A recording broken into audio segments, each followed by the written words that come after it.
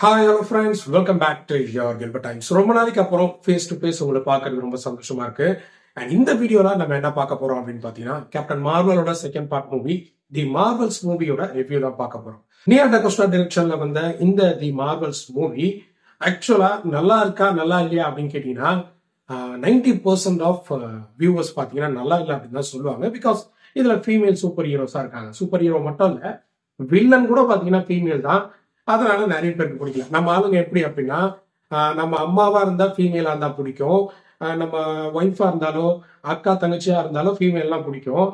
மூவிஸ்ல super ஹீரோவா வந்தா மட்டும் பிடிக்காது. அதாவது மேல் சூப்பர் ஹீரோ வந்தாதான் அது சூப்பர் ஹீரோ ஃபீமேலா வந்தா அது நம்ம ஆளுங்களுக்கு பிடிக்காது. ஸோ மற்றவங்க சொல்றதை கேட்காதீங்க. சரியா? இது வந்து இன்னமும் ஒரு நல்ல மூவி தான். நானும் வந்து ஒரு டபுள் மைண்டடாவே போனேன். என்னடா அது இவனுங்க சொல்ற மாதிரி மூவி மொக்கையா இருக்குமோ? அப்படிங்கிற ஒரு மைண்ட் செட்லயே தான் போனேன். But still it's a watchable movie கண்டிப்பா ஒரு தடவை பார்க்கலாம். ரெண்டாவது தடவை நீங்க போய் பார்க்குற அளவுக்கு டீட்டெயில்ஸ் கூட ஒன்றும் பெருசா இல்லை. ஐயோ எனக்கு இந்த விஷயம் புரியல. இன்னொரு தடவை போய் பார்த்தா தான் புரியும் அப்படிங்கிற மாதிரி கூட ஒண்ணுமே இல்லை. ரொம்ப சிம்பிளான ஸ்டோரி தான். பட் ஸ்டில் கண்டிப்பா நீங்க என்ஜாய் பண்ற அளவுக்கு இந்த படம் இருக்கும். மார்வலோட முப்பத்தி மூணாவது படம். இப்போ மார்வல் சினிமாட்டிக் யூனிவர்ஸ்ல எத்தனை மூவிஸ் பாத்தீங்க அதுல முப்பத்தி மூணாவது படம் அப்படிங்கிறது குறிப்பிடத்தக்க ஒரு விஷயம். பட் ஸ்டோரி என்ன கொஞ்சம் ஸ்ட்ராங்கா எடுத்துக்கலாம் அப்படிங்கிறது என்னோட கருத்து. ரொம்ப சிம்பிளான ஒரு ஸ்டோரி இவ்வளவு சிம்பிளா இருந்திருக்க கூடாது. இன்னும் கொஞ்சம் ஸ்ட்ராங்கா நிறைய விஷயங்களை ஆட் பண்ணிக்கலாம் அப்படிங்கிறது என்னோட கருத்து. பட் இப்படி இருந்தாலும் ஒரு தடவை கண்டிப்பா பார்க்கலாம். நீங்க ஒரு நூறு ரூபாய் நூத்தி ஐம்பது ரூபாய் கொடுத்து இந்த படத்தை பாக்குறீங்க அப்படின்னா கண்டிப்பா ஒர்த்தான மூவி தான். சோ நான் ஆல்ரெடி சொன்ன மாதிரி தான் வில்லனும் இங்க ஃபீமேல் தான். மேல் சூப்பர் ஹீரோஸ் மேல் வில்லனையே பார்த்துட்டு female super heroes and female super வில்லனையே பார்க்கறதுக்கு கொஞ்சம் கடுப்பாக தான் இருக்கும்.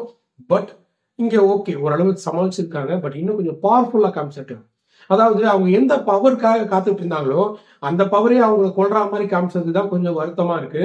ஸோ இன்னும் கொஞ்சம் பவர்ஃபுல்லான வில்லனா காமிச்சிருக்கலாம் அப்படிங்கிறது என்னோட கருத்து. மூணு காஸ்மிக் சூப்பர் ஹீரோஸை சமாளிக்கிற அளவுக்கு இவங்க வில்லன் தான்.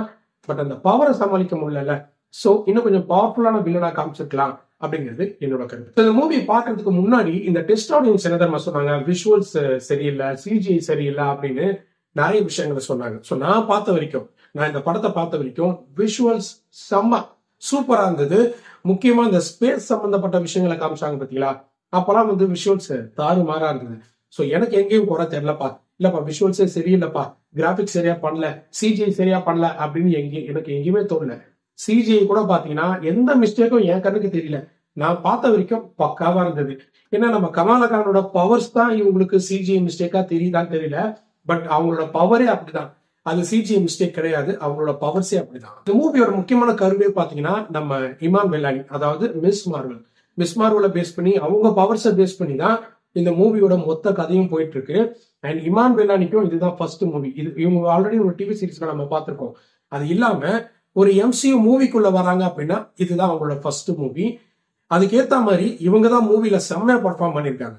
இந்த மூவிய நீங்க இமான் வேலானிக்காகவே ஃபுல்லா பார்ப்பீங்க. அவங்களோட அந்த கியூட்னஸ் அவங்களுடைய அந்த ஆக்டிங் அவங்களோட பவர் லெவல் அவங்க பவர் வச்சு தான் மூவியே ஸோ அவங்க இமான் வெல்லானிக்காகவே இந்த மூவியை பார்க்கலாம் அப்படிங்கிற அளவுக்கு சூப்பரா பர்ஃபார்ம் பண்ணியிருக்காங்க. சீக்ரெட் இன்வெஷன் பார்த்துட்டு நிறைய பேர் அப்படியே மோஸ்ட்லி இங்க வந்திருப்போம். அங்க வந்து இந்த ஸ்கல்ஸை வந்து வில்லன் மாதிரி காமிச்சு பயங்கரமா காமிச்சாங்கல்ல. அப்படியே இங்க பாருங்க. ஸ்கல்ஸை பார்க்கும்போது பாவமா இருக்கு. அங்க என்னடா அது ஸ்கல்ஸ் இப்படி பண்றானுங்க? அநியாயம் பண்றானுங்க. ஸ்கல்ஸ் கிட்ட இவ்வளவு சூப்பர் பவர்ஸா அப்படின்னு நம்மளை யோசிக்க வச்சாங்க. இங்க அப்படியே தலைகிழ போகுது. ஸ்கல்ஸை பார்த்தாலே பாவமா இருக்கு. ஏன்னா எங்களுக்குன்னு ஒரு வீடு கிடைச்சது. அந்த வீடியோ அழிச்சு போட்டீங்களா அப்படிங்கிற மாதிரி ஃபீல் பண்ண வச்சிருக்காங்க. தமிழ் டப்பிங் அப்படின்னு சொன்னா ஸ்டில் தமிழ் டப்பிங் அவங்க திறமையை காமிச்சிருக்காங்க. ஒரு சில டயலாக்ஸ் எல்லாம் பார்க்கும்போது செம்ம சிரிப்பா இருந்தது. நம்ம நிக்யூரி ஒரு இடத்துல ஒரு டைலாக் சொல்லுவாரு. நீ மட்டும் இப்ப பறந்து போல அப்படின்னா கமலாவை கல்லறையில தான் பார்க்கணும் அப்படின்னு சொல்லியிருப்பாரு. நம்ம கேப்டன் மார்வலை பேர் விட்டு கூப்பிடுவாங்க. நம்ம மோனிகா நம்ம கூப்பிடும் போது என்னைய பேர் விட்டு கூப்பிடுறியா? நான் உன்னை குப்புற போட்டு குளிப்பாட்டினவ அப்படிங்கிற மாதிரி ஒரு டைலாக் சொல்லுவாங்க. ஸோ இந்த மாதிரி டைலாக்ஸ் எல்லாம் பாத்தீங்கன்னா கேட்கறதுக்கு செம்ம ஜாலியா இருந்தது. Tamil dubbing specially Tamil dubbing சூப்பரா இருக்கு எம்சியூல வேல்கரியும் கேப்டன் மார்வலும் ரொமான்ஸ் மூட்ல இருப்பாங்க. அதாவது ஒரு மாதிரி கிராஸ்ல எடுத்துட்டு போவாங்க அப்படிங்கிற மாதிரி எப்போ சொல்லிட்டாங்க. எனக்கு தெரிஞ்சு இன்ஃபினிட்டி வார் சாரி அவஞ்சு செஞ்சு முடியும் போது கேப்டன் மார்வலும் வேல்கேரியும் ஒன்று சேருவாங்க ரெண்டு பேரும் லவ் பண்ணுவாங்க அப்படிங்கிற மாதிரி சொன்னாங்க. ஃபைனலா அதை இங்க ப்ரூவ் பண்ணிட்டாங்க. இந்த இடத்துல பாத்தீங்கன்னா கேப்டன் மார்வலும் வேல்கெரியும் ரொம்ப க்ளோஸா இருக்க மாதிரி காமிச்சிருக்காங்க. மேபி அப்கமிங் மூவிஸ்ல அவங்களோட ரொமான்ஸை நம்ம காட்டுவாங்கன்னு நினைக்கிறேன். இன்னும் என்னென்ன கலவரங்களை வச்சிருக்காங்களோ பார்க்கும்போதே பயமா இருக்கு. படத்தை பார்த்துட்டு வெளியே வர்றவங்க நிறைய பேர் போஸ்ட் கிரிட்டிக் சீனை பார்த்து அட்டடா செம்மடா அப்படின்னு ஃபீல் பண்ணிருப்பாங்க. ரெண்டாவது ஷாக்கிங்கான விஷயம் என்ன தெரியுமா? கேப்டன் மார்வலுக்கு கல்யாணம் ஆயிருச்சா அப்படின்னு நிறைய பேர் கேட்பீங்க. அந்த மாதிரி ஒரு சீன் இங்க நடந்திருக்கு. படத்தை பார்த்தவங்களுக்குலாம் நான் படத்தை பார்த்தவங்களுக்கு மட்டும்தான் நான் என்ன சொல்றேன்னு புரியும். அப்படி ஒரு விஷயத்த காமிச்சு என்னையும் ஷாக் ஆகிட்டாங்க. நான் ட்ரெய்லர்ல அந்த சீன் பார்த்தேன். என்னடா இது? கேப்டன் மார்வல் எங்கேயோ வித்தியாசமான ட்ரெஸ் போட்டு டான்ஸ் ஆடிட்டு இருக்காங்க. என்னவா இருக்கும் என்னவா இருக்கும் அப்படின்னு சொல்லிட்டு மண்டியை போட்டு குழப்பிட்டு இருந்தேன். கடைசியில கேப்டன் மார்வலுக்கு கல்யாணம் ஆயிடுச்சு அப்படிங்கிற மாதிரி காமிச்சாங்க பாத்தீங்களா? சூப்பர் அது ஒரு தேவையில்லாத ஆணி மாரி தான் எனக்கும் தெரிஞ்சது. பட் ஸ்டில் அது கொஞ்சம் டிஃப்ரெண்டா இருந்தது. கேப்டன் மார்வல் உண்டிக்கட்டையாவே போயிடுவாங்களோ அப்படின்னு நம்ம யோசிக்காம ஓகேடா அவங்களுக்கும் கல்யாணம் ஆயிடுச்சுடா அவங்களுக்கும் புருஷனா இருக்காண்டா அப்படிங்கிற மாதிரி ஒரு ஃபீல் எடுத்துட்டு வந்திருக்காங்க. ஏன்னா இந்த மூவில யார் முக்கியமான சூப்பர் ஹீரோ அதாவது யார் வந்து முக்கியமான வேலையை பண்ணியிருக்காங்க அப்படின்னு பாத்தீங்கன்னா கேப்டன் மார்வல் எஸ் நம்ம மோனிகா ராம்பு இமான் வில்லானியோட மிஸ் மார்வல் அது தாண்டி நம்ம கூஸ் ஃபிளர்கன்ஸும் பார்த்தீங்கன்னா வேற லெவலில் பண்ணியிருக்கு அந்த பூனையை வச்சு இப்படி ஒரு விஷயத்த பண்ணுவாங்க நான் எதிர்பார்க்கல. இந்த படத்தை பாருங்க பாத்தீங்கன்னா புரியும். இதுக்கு முன்னாடி நம்ம கூஸ் பாத்தீங்கன்னா ஒரு பயங்கரமான ஏலியன் அப்படிங்கிற மாதிரி காமிச்சாங்கல்ல. அந்த ஏலியனே பாத்தீங்கன்னா நிறைய பேர் சேவ் பண்ணியிருக்கு. அந்த ஏலியனை எப்படி யூஸ் பண்ணிருக்காங்க ஒரு வண்டி மாதிரி யூஸ் பண்ணிட்டானுங்க. அதை பார்க்கும்போது ரொம்ப டிஃப்ரெண்டாக இருந்தது. இப்படி ஒரு கான்செப்டா நான் எதிர்பார்க்கல. அண்ட் இந்த மூவியை பார்க்க போகும்போது நான் ஒரு புது வில்லனை இன்ட்ரோ பண்ணுவாங்க ஒரு பயங்கரமான வில்லனை இன்ட்ரோ பண்ணுவாங்க அப்படிங்கிற மாதிரி போய் பார்த்தேன். ஆனால் அந்த வில்லனுக்கான எந்த ஒரு தடையமும் இல்லை. ஆனால் ரெஃபரன்ஸ்லாம் இருக்கு. ஃபியூச்சரில் கண்டிப்பாக அந்த வில்லன் எடுத்துட்டு வருவாங்க. அதை தாண்டி எதிர்பார்க்கவே இல்லை ஒரு புது யூனிவர்ஸையே நமக்கு இன்ட்ரோ பண்ணிட்டாங்க. நம்ம எல்லாம் வெயிட் பண்ணிட்டு இருந்தோம். அப்பா இந்த யூனிவர்ஸ் எப்படா எம்சியூக்குள்ள வரும்? ரைட்ஸ் எல்லாம் வந்துருச்சு. இன்னமும் இந்த யூனிவர்ஸ் எம்சியூக்குள்ள எடுத்துட்டு வரலையேன்னு. அப்படி ஒரு யூனிவர்ஸ் எம்சியூக்குள்ள வந்துருச்சு. அதை பார்த்து நான் பயங்கர ஷாக் ஆயிட்டேன். வாவ் இப்படி யாரா பண்ணிருப்பீங்க? யாருமே எதிர்பார்க்காத ஒரு இடத்துல. நம்ம டாக்டர் சேஞ்சோட செகண்ட் பார்ட் மூவில வரும். ஸ்பைடர்மேன் மூவில வரும். அவெஞ்சர்ஸ் இன்கேம்ல வரும். அது இது நம்ம எங்கேயும் எதிர்பார்க்கிறோம். யாருமே எதிர்பார்த்திருக்க மாட்டோம். இந்த இடத்துல இந்த யூனிவர்ஸ் எடுத்துட்டு வருவாங்கன்னு. ஒரு பேரலல் யூனிவர்ஸ் அப்படிங்கிற மாதிரி சூப்பரா எடுத்துட்டு வந்து எம்சியூக்குள்ள இறக்கி விட்டாங்க. நான் எந்த யூனிவர்ஸை பத்தி சொல்றேன் அப்படிங்கிறது நீங்க மூவி பாத்தீங்கன்னா தெரியும். நான் ஸ்பாய்லர் பண்ண விரும்பல. எனக்கு இந்த மூவில ஏதாவது எமோஷனலான சீன்ஸ் இருக்கா அப்படின்னு கேட்டீங்கன்னா நிறைய இருக்கு. நம்ம கமலா கானோட ஃபேமிலி கமலா கிட்ட பேசும்போது நம்ம கேப்டன் மார்வல் மோனிகா கிட்ட பேசும்போது நான் எமோஷனலா ஃபீல் பண்ண சீன் எது அப்படின்னு கேட்டீங்கன்னா நம்ம மோனிகா ஒரு இடத்துல எனக்கு யாருமே இல்லை. நான் பிளிப்ல இருந்து ரிட்டர்ன் வந்ததுக்கு அப்புறம் என்னை சுத்தி யாருமே இல்லை எனக்குன்னு யாருமே இல்லை அப்படின்னு ஃபீல் பண்ணும்போது கேப்டன் மார்வலும் நம்ம கமாலாவும் பாத்தீங்கன்னா அவங்கள வந்து அரவணைக்கிற அந்த சீன் எனக்கு செம்ம எமோஷனலா இருந்தது. ஒரு செகண்ட் கண் கலங்கிருச்சு. பட் இது ஒன்றும் அந்த அளவுக்கு பெரிய எமோஷனல் இல்லை ப்ரோ அப்படின்னு உங்களை நிறைய பேர் சொல்லுவீங்க. அம்மா இறந்த விஷயத்த பல வருஷங்கள் கழிச்சு நீங்க வந்து கேட்கும் பொழுது அந்த பர்சனோட ஃபீலிங் எப்படி இருக்கும் அப்படிங்கிறது ஒரு சிலவங்களுக்கு மட்டும் தான் புரியும்.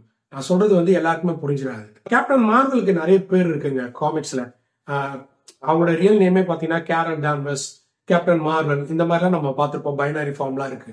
ஆனா அழிவின் உருவம் அப்படின்னு ஒரு பேர் வச்சிருக்காங்க பாருங்க கேப்டன் மார்வலுக்கு ஷாக் ஆயிட்டேன். என்னடா கடைசியில ஒரு சூப்பர் ஹீரோவை அழிவின் உருவம்னு கூப்பிடுறீங்க அப்படின்ற அளவுக்கு யோசிக்க வச்சிட்டாங்க. இந்த பேரை கேட்டு எத்தனை பேர் சிரிச்சீங்க? கமெண்ட் செக்ஷன்ல மறக்காம சொல்லுங்க. அண்ட் இந்த captain மார்வலோட second part movie the Marvels மூவியை பார்த்துட்டு இன்டெப்தா மூவியை புரிஞ்சுக்கிட்டவங்க கண்டிப்பா superman versus captain Marvel video கேட்பாங்க.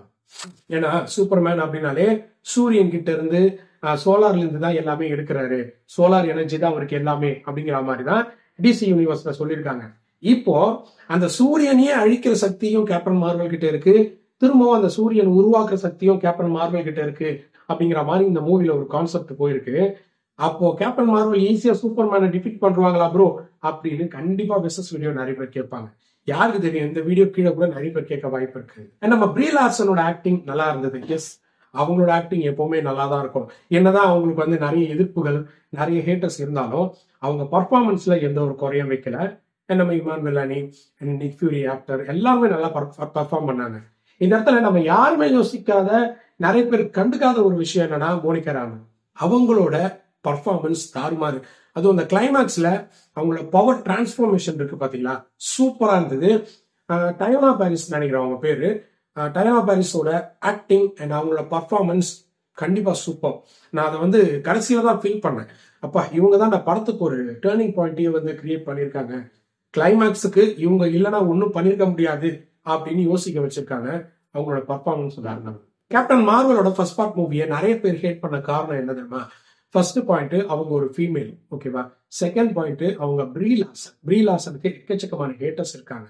ஸோ இதுதான். மூணாவது என்ன அப்படின்னா ஸ்டோரி ஒன்றும் பெருசாலாம் இல்லைங்க. ஓவர் பவர் த கேரக்டர் தோரை விட பவர்ஃபுல்லாக காமிச்சிருக்காங்க அப்படிங்கிறது நிறைய பேருக்கு உள்ள கருத்து. அண்ட் இந்த ஃபர்ஸ்ட் பார்ட் மூவி நல்ல கலெக்ஷன் எடுக்க காரணம் என்னன்னு கேட்டீங்கன்னா போஸ்ட் கிரிசி ஒரு நல்ல போஸ்ட் கிரிசினை வச்சு படத்தை ஓட்டாங்க அப்படிங்கிற மாதிரி.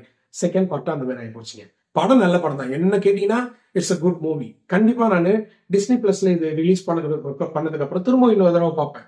எனக்கு பிடிச்சிருக்கு. ஆனா இங்கேயும் இந்த மூவி நல்லா ஓடிச்சுன்னா போஸ்ட் கிரிசின்காக தான் ஓடிச்சுன்னு நம்ம ஆளுங்க சொல்லுவாங்க. இது நடக்குதா இல்லையா வேணா பாருங்க. தி மார்வல்ஸ் மூவி சூப்பரா போயிருக்குப்பா. நல்ல கலெக்ஷன் எடுத்திருக்குப்பா அப்படின்னு ஃபியூச்சர்ல சொன்னாலும் படம் வேஸ்ட் ஏதோ போஸ்ட் கிரிசின்காக தான் படமே ஓடிச்சு அப்படிங்கிற மாதிரி சொல்றாங்க. போஸ்ட் கிரிசின் அந்த அளவுக்கு தரமான விஷயம். பல வருஷமா நம்ம வெயிட் பண்ணிட்டு இருந்த விஷயம் இந்த தி மார்வல்ஸ் மூவியோட போஸ்ட் கிரிசின்ல நடந்திருக்கு. கண்டிப்பா இந்த ஒரு போஸ்கரி சீனுக்காகவே இந்த படம் நல்லா ஓடும் அப்படிங்கிறது என்னோட கருத்து. மொத்தத்துல ஒரு சூப்பரான மூவி கண்டிப்பா தரமான மூவி அப்படின்னு நான் சொல்ல மாட்டேன். எனக்கே வந்து ஸ்டோரி கொஞ்சம் போர் அடிச்ச மாதிரி இருந்தது. ஐ மீன் ரொம்ப சிம்பிளா இருந்தது. இன்னும் கொஞ்சம் ஸ்ட்ராங்கா ஸ்கிரிப்ட் ரைட் பண்ணிருக்கலாமோ அப்படிங்கிற மாதிரி எனக்கு கொஞ்சம் தோணுது. மற்றபடி ஸ்டில் வாட்சபிள் மூவி தான். ஒரு தடவை பார்க்கலாம். புரியாதவங்க ரெண்டு தடவை பார்க்கலாம். ஸோ கண்டிப்பா ஒரு நல்ல மூவி தான். தரமான மூவி கிடையாது. அண்ட் இந்த மூவிக்கு என்ன ஒரு ரேட்டிங் கொடுப்பீங்க? பத்துக்கு எவ்வளவு கொடுப்பீங்க அப்படின்னு கேட்டீங்கன்னா செவன் பாயிண்ட் ஃபைவ் நான் கண்டிப்பா கொடுப்பேன். அந்த டூ பாயிண்ட் ஃபைவ் ஏன் ப்ரோ கொடுக்கல அப்படின்னு கேட்டீங்கன்னா நான் ஆல்ரெடி சொன்ன மாதிரி தான் ஸ்டோரி இன்னும் கொஞ்சம் பெட்டரா இருந்திருக்கலாம் ஸ்ட்ராங்காக இருந்திருக்கலாம். ப்ளஸ் வில்லனை இன்னும் கொஞ்சம் பவர்ஃபுல்லா காமிச்சிருக்கலாம். அப்படி இல்லைன்னா ஒரு மேல் வில்லனை காமிச்சிருக்கலாம். இது ரெண்டு நடந்திருந்தது அப்படின்னா கண்டிப்பாக அந்த டூ பாயிண்ட் ஃபைவ் நான் எடுத்து கொடுத்துருவேன். ஸோ என்னை பொறுத்த வரைக்கும் இட்ஸ் அ குட் மூவி நீங்க இந்த மூவியை பார்த்துட்டீங்களா? எப்படி ஃபீல் பண்ணீங்க?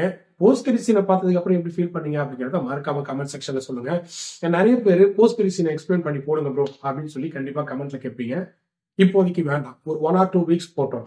ஏன்னா இப்போ நான் அந்த போஸ்ட் டிசைனை எக்ஸ்பிளைன் பண்ணி போட்டேன் அப்படின்னா நிறைய பேருக்கு ஸ்பாய்லராக இருக்க நிறைய வாய்ப்பு இருக்கு.